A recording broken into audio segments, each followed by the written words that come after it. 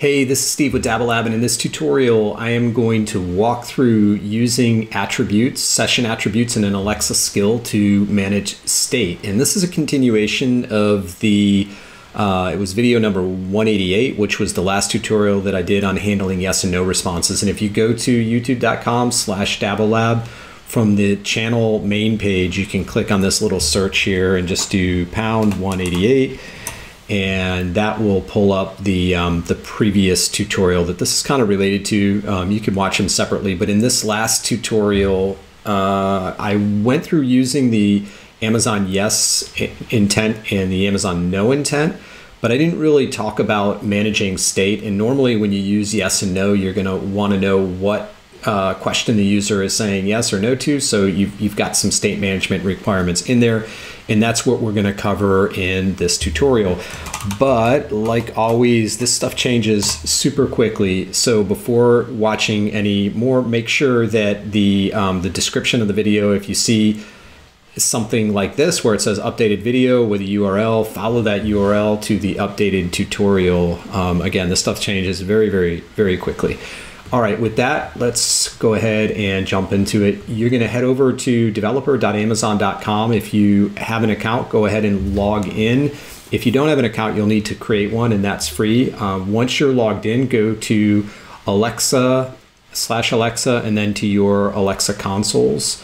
So that is basically when you're logged in. If you go up here to the menu and hover over your Alexa consoles and just go to skills, this will bring you to your skill list. And that's where we're gonna start here. And I'm gonna use Alexa hosted skills, which is what I used for the last uh, tutorial. And I've been using these, um, let's see another demo. I've been using these to do the uh, the demos, although I, I still prefer using the, the CLI, but for these quick topics, it's just easier to do everything in the, uh, the, the, browser. If you're creating a, um, uh, a simple skill uh, or just learning and trying different things. The hosted skills are all free. You don't have to set up an, AWS backend, which is really nice. So it's a great way to, um, to, to put together simple skills or to learn. And so I'm going to use them for this. It takes a little while to um, provision, I don't know, a couple of minutes because it's setting up the AWS backend. So I'm going to fast forward through this and we'll pick up after everything is set up and ready to go. Okay, now our hosted skill is all provisioned and ready to go. I like to um, open three tabs when I'm working with the hosted skills. I leave one tab for the build section and then I do another tab for code and then another tab for tests. So I end up with three browser tabs, uh, build, code, and test, and that way I can just toggle through them really quickly because uh, I'll be going back and forth through these three areas of the, uh, the developer console. So I'm going to start at the test tab over here and just turn on uh, development just so we can test and just to make sure that everything is working I'm going to go through and just do a quick test. Oh my gosh, another demo. Type. Welcome. You can say hello or help. Which would you like to try?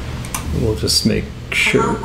Okay, so everything is uh, is working here, so we can start changing this up. And this is just sort of the the boilerplate um, template or skill that when you deploy or when you uh, create a new uh, hosted skill, this is what you get. It's sort of just a really basic hello world skill. And we're going to start there and we're going to modify this. But first, uh, I need to add the Amazon yes intent, the Amazon no, uh, no intent. We did this in the last tutorial. Um, so uh, you're going to go to intents from the build tab and then add.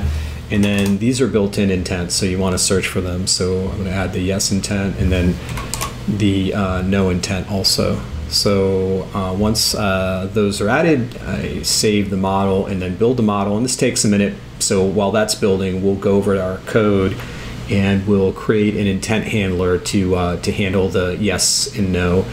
Um, when I did this in the last tutorial, I, I set up a, a, two handlers and one for the yes intent and one for the no intent. And I did that just to keep it simple.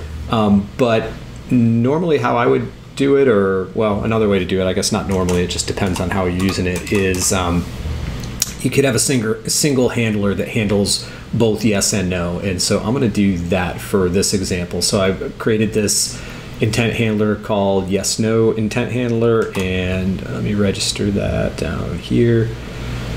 Uh, I always forget to do that. Um, all right, so now in here, we want to make sure that it handles the yes intent and the no intent. Right now, it's just handling help, which we don't want. We want yes, and we also want to handle um, no. So I can do that by saying if yes intent or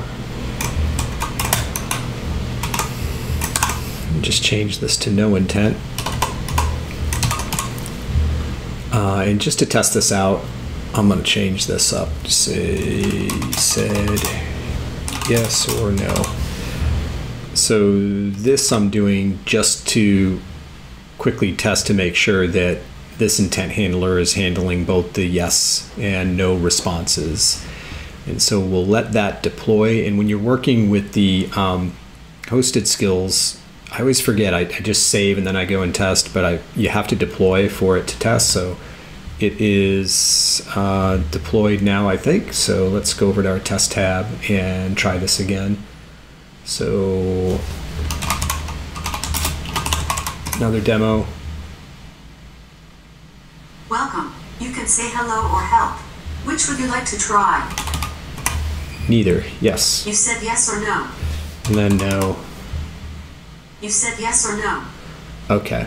Um, so that's all working. Now let's go back and make this stuff uh, work and start taking a look at the state management piece, which is the, the main piece. So first, I'm going to ask a different question when the skill launches. So I'm going to ask, uh, are you having a nice day?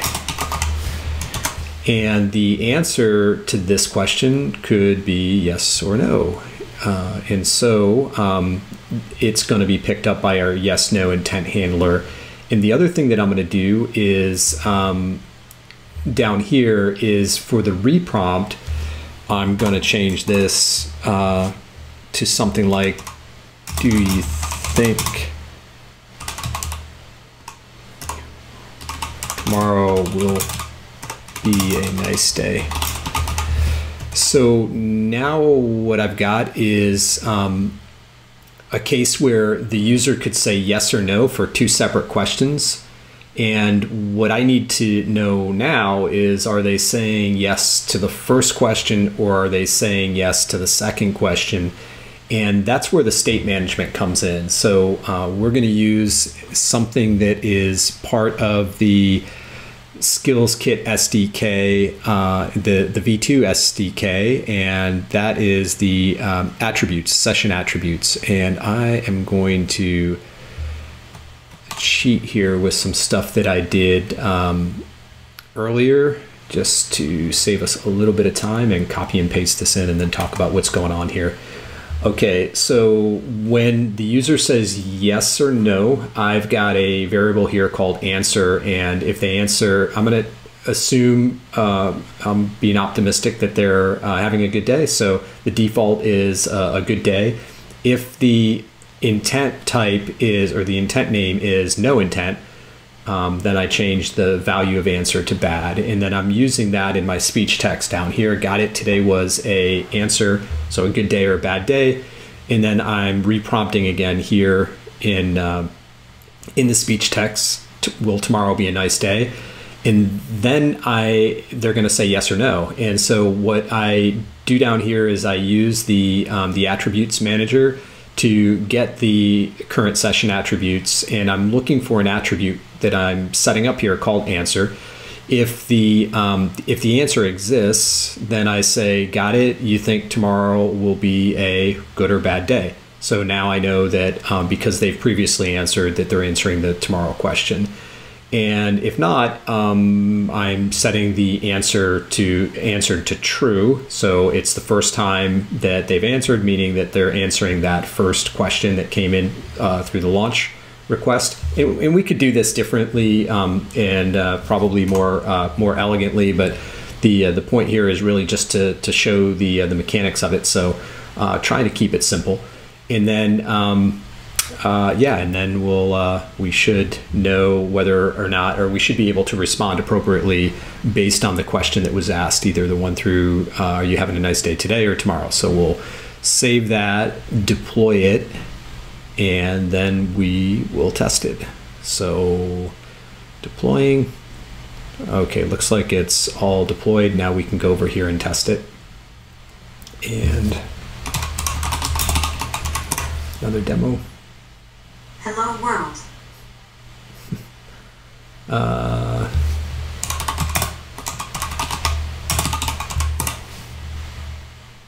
Are you having a nice day? I'll say yes. Got it. Today was a good day. Will tomorrow be a nice day?